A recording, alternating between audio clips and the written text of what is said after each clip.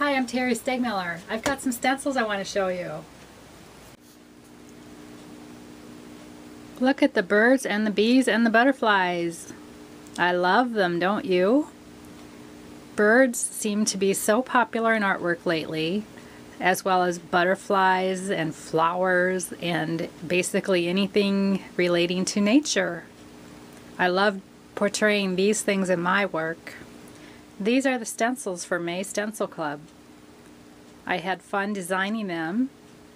This 9 by 12 stencil portraying the birds in the tree branches is similar to a design that I created on a quilted wall hanging and again on a quilted tote bag and you can see those items here.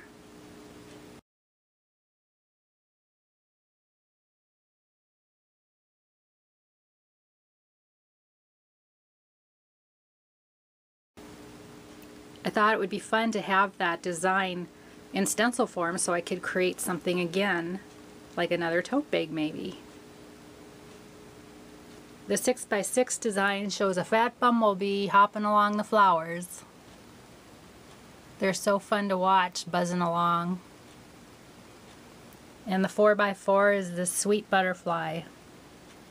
I love the swirly designs in the wings. I've been having so much fun with these stencils this month and I know you will too. So how do you get these stencils? All you have to do is join the Stencil Club through stencilgirlproducts.com. Visit their website and you'll find out all the information about the club. Come on and join me. We'll have fun and I want to see what you make.